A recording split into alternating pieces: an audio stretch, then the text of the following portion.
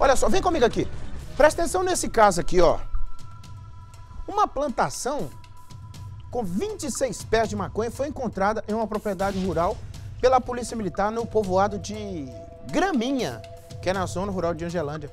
O nosso diretor de jornalismo aqui, Albuquerque Júnior, ele é impressionante, né? Ele. Quando eu falo assim tem muito tempo que não aparece esse trem aqui, aí o negócio aparece lá, ó. É. É incrível lá, olha só. Não, plantação do que não presta, meu. A apreensão ocorreu após denúncias de que a planta era cultivada no local e que seria prensada e preparada para comercialização.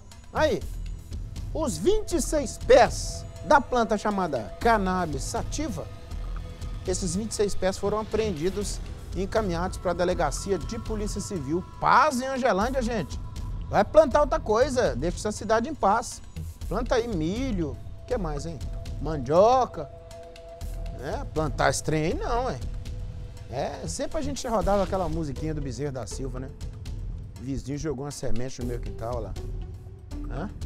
Cruz credo. Isso aí é planta do mal, não é, meu diretor? Nossa, agricultura aí não presta não, filho. Tô fora lá. É, 26 pés. Mas acabou tudo. Acabou. A polícia foi lá, derrubou tudo.